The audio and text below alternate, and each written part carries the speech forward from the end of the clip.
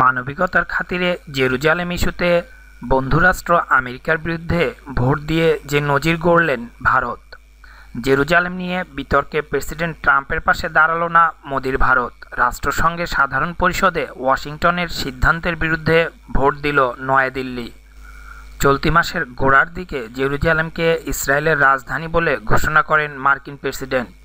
সেই ঘটনা ঘিরে সমালোচনার ঝড় ওঠে সমগ্র বিশ্ব জুড়ে আমেরিকার এহেন সিদ্ধান্তের বিরুদ্ধে গর্জে ওঠে বিভিন্ন দেশ। অনেক দেশে আবার এই সিদ্ধান্তের প্রতিবাদে মার্কিন পণ্য বয়কটের ডাক দেওয়া হয়।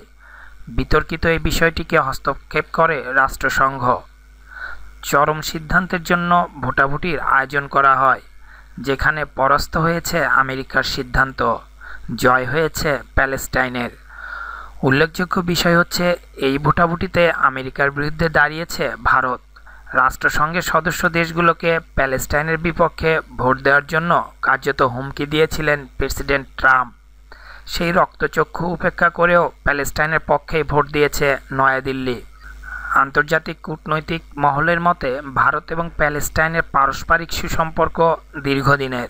সেই সম্পর্ক বজায় রাখতে এই সিদ্ধান্ত নিয়েছে নয়াদিল্লি। অন্যদিকে ভারত মার্কিন সুসম্পর্কের বিষয়টিও কারও অজানা নয়। গত এক দশকে বেশ উন্নত হয়েছে সেই সম্পর্ক। তবুও কেন আমেরিকার বিপক্ষে ভোট দিল ভারত? এই বিষয়ে সরকারিভাবে নয়াদিল্লির পক্ষ থেকে কেউ কোনো মন্তব্য করেননি। জেরুজালেম নিয়ে চূড়ান্ত সিদ্ধান্ত নেওয়ার জন্য ভোটাভুটির আয়োজন করে রাষ্ট্রসংঘ।